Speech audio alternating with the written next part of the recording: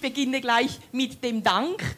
Ein riesiges, großes Dankeschön an dich, Francesca Ciardina. Das war deine Premiere als stellvertretende Geschäftsführerin. Matthias Stürmer, den Sie alle kennen, hat mir zu Beginn gesagt, heute konnte es er auch einfach genießen. Er hat eine Stellvertreterin. Ganz herzlichen Dank dir, Francesca, für die ganze Organisation. Dann aber auch ganz herzlichen Dank Barbara Josef für das spannende Eingangsreferat und ganz herzlichen Dank allen Panel-Teilnehmenden. Ich habe mir jetzt so überlegt, ui, wie gehen wir jetzt weiter vor? Also wir haben ein sehr breites Spektrum heute gehört und diskutiert.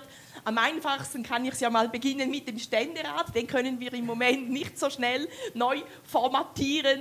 Aber hier ein guter Input. Der Ständerat hat heute begonnen mit dem papierlosen Büro.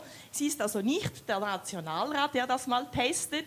Der Ständerat testet das papierlose Büro und wir sind natürlich alle gespannt, wie jetzt das funktioniert und ob wir dann im Nationalrat auch mal zum papierlosen Büro wechseln können. Ich habe es sehr spannend gefunden, auch die ganzen Diskussionen über die Arbeitswelt und am Schluss sind wir dann auch bei der Politik gelandet, bei der Partizipation. Da haben Sie mir aus dem Herzen gesprochen. Wie können wir zukünftig eine Medienpolitik machen, eben die die Menschen erreicht? Wie können wir aber auch die ganze Partizipation in unserer direkten Demokratie stärken? weil ich weiß nicht, wie es Ihnen geht, wenn Sie auch irgendwo noch Mitglied sind, gehen Sie gerne an einem Samstag oder einem Sonntag an eine Delegiertenversammlung. Ich gestehe, ich muss mich jedes Mal aufraffen, wenn am Samstag oder am Sonntag eine Delegiertenversammlung ist. Und trotzdem finde ich es so wichtig, dass eben die Menschen teilnehmen können.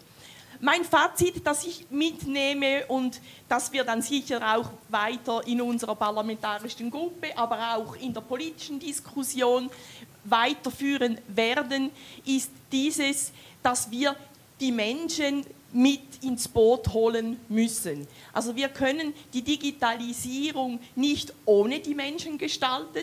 Die Menschen sind betroffen. Wir haben aber auch heute gehört, dass wir nicht wissen, wohin die Reise genau geht. Und deshalb ist es umso wichtiger, dass wir die Menschen aller Generationen, dass wir denen Vertrauen schenken, dass wir sie brauchen. Sie werden nicht alle wegrationalisiert, aber es braucht neue Veränderungen, es braucht eben lebenslanges Lernen. Und ich glaube, das ist das Zentrale, dass wir zusammen die Digitalisierung so gestaltet, dass sie eben für die Menschen einen Nutzen bringt und dass die Menschen auch Freude an diesen Veränderungen haben und nicht das Gefühl haben, oh, hoffentlich gehöre ich nicht zu denjenigen, die dann aufs Abstellgleis geschoben werden. Das erachte ich als eine wichtige Aufgabe, die Chancen zu sehen, die Menschen mitzunehmen, ihnen Perspektiven äh, zu geben und eben nicht ständig zu diskutieren, wahrscheinlich gibt es nur noch selbstfahrende Autos, wahrscheinlich gibt es keine Lokführer mehr. Das wissen wir alle nicht, wie sich das entwickelt, aber die Zeit entwickelt sich und die Menschen müssen dabei sein. In diesem Sinne danke ich Ihnen herzlich, dass Sie heute Abend bei uns waren und ich hoffe, Sie bald wieder an einem nächsten Partigi-Anlass zu sehen und wünsche Ihnen jetzt noch ein gute beim Dessert und angeregte Gespräche und ich freue mich auf weitere Begegnungen mit Ihnen. Besten Dank.